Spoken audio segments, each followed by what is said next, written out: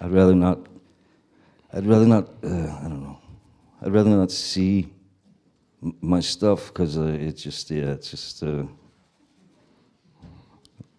makes me uncomfortable. You know, I don't like watching myself.